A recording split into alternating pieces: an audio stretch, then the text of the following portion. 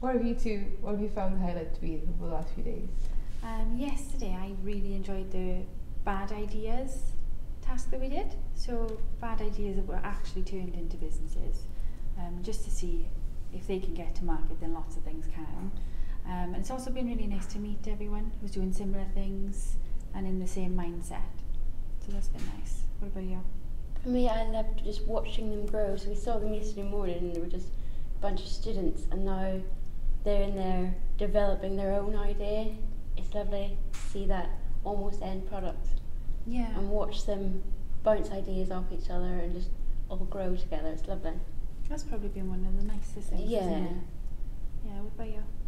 Probably that they made a note about how passionate we are, Mm. and that, how that's important, and that we're all women. Yeah. And that was quite a highlight that it was noted, and